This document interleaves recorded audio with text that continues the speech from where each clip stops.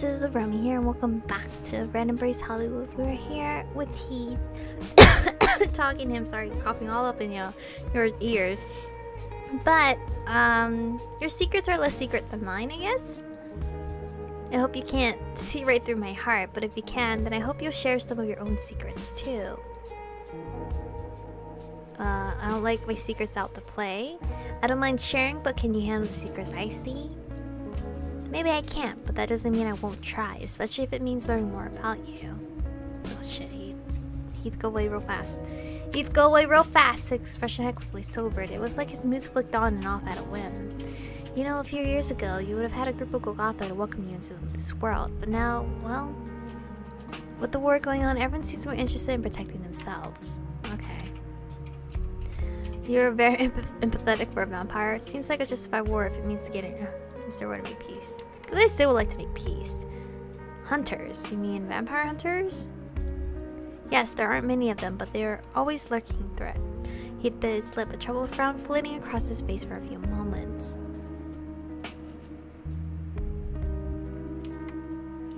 In the following silence, I heard sirens echoing from somewhere far, far away. There's something different about you, something that I've never seen before. I'd really like to talk to you more if you'd let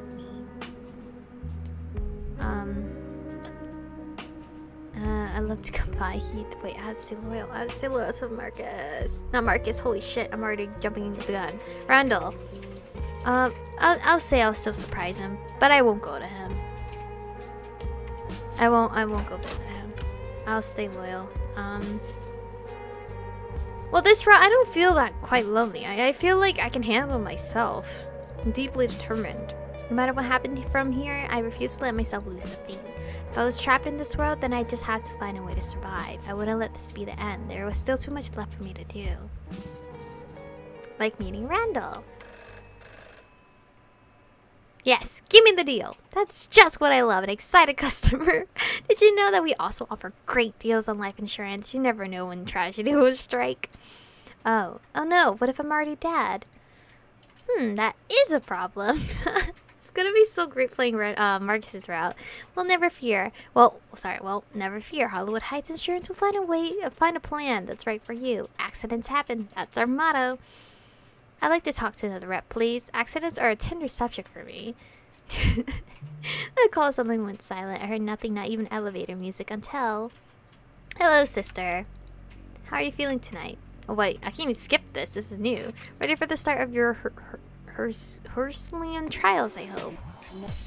Oh, but I wanted the car insurance. No, no, I assure you it's much cheaper traveling to hell in a handbasket.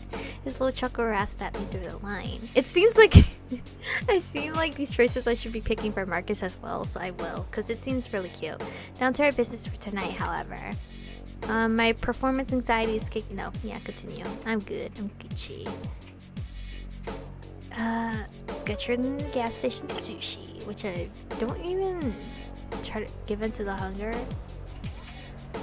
Randal doesn't even eat humans, does he? Or does it, I don't remember. We're gonna try to resist. Obviously, it's not gonna work. Um, don't worry, I'm not going to mug you. No, yes, I need you. N need me? For for what? and this route, I will uh, I guess I will make David our pet. As personally, I don't like that, but I would like to see the aspects of like not drinking from a blood pouch. I took a, a step towards him slowly. He stayed in place, but I could see his whole body tensing up, getting ready to turn and bolt. Another step and another until he's two only a foot or two away. Uh, you can't run away because you don't want to. Shh, come here for just come here for just a moment. Just pull him into my arms. Chomp chomp! Sorry, David.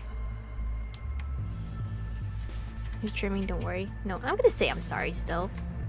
I'm very kind. Alright. If you don't let me into this meeting, you're gonna be in deep shit later, dude. Yep, you are. Didn't I beat him up?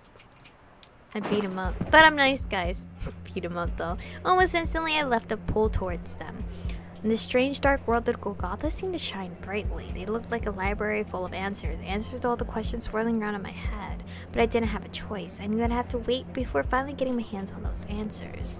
Oh right, this is so weird. Because I'm gonna be like on Randal's side, but as a Golgotha. Alright, let's cut the bullshit and talk conditions. Alright. When I blinked, I thought I saw some sort of circ cir circlet on his head shining brightly, but it vanished the next moment, just an illusion. What? What did I see? Call out to them. Hold the fuck on. I hate to interrupt, but this is my uh one of my siblings. A Golgotha? I'm a Golgotha myself though.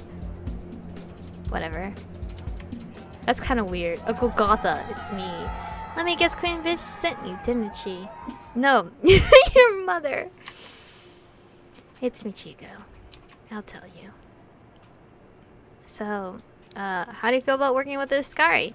Well, Cherise wants a truce with you eventually. Would you agree to one? No, so how do you feel about this guy? yeah, yeah, real funny. You're not joking, are you? No. Like, I'm not joking that you're gonna be our boyfriend, maybe. I don't know. For some God's sake and for, for, for some God's forsaken reason, she thinks she'd be good to work with. She says you're the leader of the and wants to be allies. No, I'm gonna choose all these rebellious answers. Ha! A choked laugh of disbelief erupted from his throat. If he reacted like that to just the mention of an alliance, it probably didn't bode well for Cherise. Um, yeah, I think Cherise might have been pals with Stalin. Stalin? Stalin? Who the hell is that? You sounded like a leader earlier. Are you sure you're not just deluding yourself? You sounded like a leader earlier. And you're an vandal, alright? uh, what do you think of us? Us. Oh, yeah, you're one of the, uh, fuck. You pinched the bridge of his nose with his thumb and forefinger, grimacing. Kid, I got bad news for you. Your house, you've got a lot of talents, weird visions, prophetic dreams, seeing into people's hearts the second you meet them, stuff like that. Oh, really? But it's gonna get hard, real hard. A lot of newbie goals. They can't handle all the new gifts, don't know how to separate reality from fantasy, completely insane within a week. So uh, try to keep, try and keep it together, okay? That's my secret. I never had it together in the first place. I think I'll be fine, but thanks. I will, Vandal. Why am I calling him Vandal instead of Randal? That's my secret. I never had it together in the first place. Right, good to know. Okay, you know what? I'm gonna choose a funny one. I don't know why she's constantly calling me Vandal. We'll do that. It's Randal. Damn it, don't you play that game with me. Okay, Vandal. Anyway, if you haven't met Marcus yet, I should hook you up. He's the best goal. Hell, one of the best guys period I know around here. Marcus is amazing, wear glasses and all. Okay. So, the, so are the kiss of death, Golgotha the sound of death, and what about Mar Mavar? Kind of fancy way of putting it, but sure. Not a whole lot to say about us, really. Mavar don't complicate shit. Interesting, so being a vampire is an excuse to ignore law and order. No, I kind of still like Thanks, Vandal. Thanks, Vandal. Mm. You sighed playfully, rubbing at his forehead with one hand. Take care and hang on to your sanity. I'm gonna call him Vandal. That's cute. We got a little nickname for him already. And with that, we parted ways. Hey. You tricked me, you complete... yeah, but... No, you tricked me, you complete bit... You tricked me, you bitch. Uh, that seems kind of dishonest. Oh, I'm just gonna be silent. Okay. Mm -hmm. Fine. What is it? I'm so sassy. What do you want? I suggest you partner yourself with at least, or or at least try to learn from an older vampire. Okay.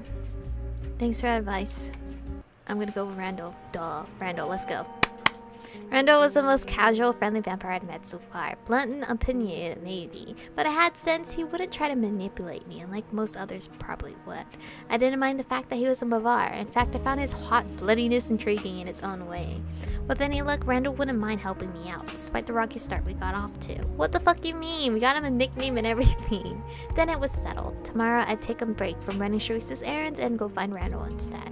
That thought was only a small pillar in the world whirlwind I'd been thrown into, but I clung to it as tightly as I could. Alright. This is interesting. This is really fun. My feet sank into the soft, welcoming sand. The gentle ryth rhythm of crashing waves filled my ears, washing over the distant cries of seagulls. It felt so different from the glittering bustle of Hollywood and downtown LA, almost like a remote, isolate, isolated bubble of paradise. This is cute. After taking a taxi from the hotel to Santa Monica, I've been wandering around for a little while, looking for Randal's place. The only directions he'd given me were at the beach, which wasn't exactly the most helpful. Alright. Oh, no, okay, I can't skip anything. Luckily, I could smell or rather sense the presence of vampires nearby, but this time it felt like I was tracking a blob instead of individual scents, as if they'd all morphed together into one giant presence. My feet soon took me to a rickety house by the waterfront. I heard a familiar, charismatic voice booming through the windows, which meant this was definitely the place. Hello! Michiko! Wow, don't be so shocked to see me. A few seconds after I knocked, the door swung open. At first, Randal looked shocked to see me, but his mouth soon curled into a guarded smile. You know, I'll be honest, I wasn't expecting you to show up again. Well, I just kind of keep myself away. I like bad boys, and you're a vandal. You do. what the fuck? Most people don't. I like to catch them by surprise. Why? Because you're an enemy? No, I'm going for the, um... I like bad boys. I can't tell if you're hitting on me or just being crazy cold, so... I'm hitting on you. This is the first time where I'm gonna hit on the, the character, the love interest, instead of love interest hitting on us. Well, whatever. You're sitting here to do something besides calling me the wrong name, right? Nah, no one sent me here. I just came to talk to you. Don't be a dick about it. You said I could stop by any time, right? Should we be rebellious against him too? Like sassy? No one sent me here. I just came to talk to you. Okay, you don't believe that. Okay, I guess we gotta be, like, rebellious against you. Don't be a dick. Well, yeah, but... Nah, fuck it. Even if you came to spy on me, at least you're good entertainment. There's probably nothing Queen Bitch doesn't know about me already, so stop standing around and come inside. See, he's on edge. See, I'm like the. I guess it's perfect that I'm Golgotha because I'm like living under a Scary household, but I want to go for someone in the bar, but I'm a Golgotha. Randall beckoned, beckoned me impatiently into the house, so I followed him past the sandy threshold. The living room was far from empty. A number of vampires crowded around in conversation, some standing and others lounging on the couch and chairs. But when they noticed me, the chatter dropped into a low guarded murmur, and sharp looks flew at me from all directions. Is that salad on the table? What is that? What is this? Hello everyone. Wiggle my fingers. Sorry, am I intruding on something? Well, you guys are sure. you guys sure are a welcoming bunch. Stay silent. I kind of want to go for um. Well, you guys are a welcoming bunch. A few snorts and scoffs echoed around the room, but no one looked particularly amused. Hey, isn't that the new kid who gave you the knife, Randal? Yeah, I think I recognize her face. A few vampires raised her, their voices warily, glancing between Randal and me. Relax, we worked it out, alright? Randal eyed the vampires who raised their hackles, wearing the slightly disappointed look of an older brother dealing with immature siblings. She's a newbie who was at the wrong place at the wrong time, that's all. Have some goddamn empathy, guys. A moment later, their hostile gazes began melting away, and the room echoed with a few sheepish coughs and grumbles. Shit, I guess you're right, like usual. It's kind of easy to forget something sometimes that we all had it rough at the start. The chatter gradually resumed its previous volume, and with the exception of a few lingering glances, the hostility in the room subsided.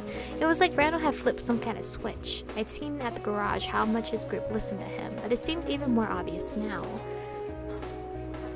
Look at all these bands, bro. Sorry about that, kid. I'm not a kid. His throat, Randal let out a faint chuckle. Everyone's just a little jumpy with this war shit going on, and with you working for Cherise, they don't hesitate to get defensive. It's fine, I get why they'd be suspicious of me. They could at least give me the benefit of the doubt. Sheesh. I think you should train your guard dogs better. No, what the fuck, that's rude. We're not doing that. That's rude. Oh, anyway, this is where I'm going to say for today. I'm quite excited to play Randal's route because this gives us a different atmosphere. And I feel like Randal can hold his own. So I don't think I'm gonna have to baby him as much as with Heath. Even with me babying Heath, didn't work out because then I was like, no, I can't baby him. I gotta make him a very independent boy, which didn't fucking matter because I died anyway. But thank you guys for watching. Stay beautiful, and I'll see you guys in the next one.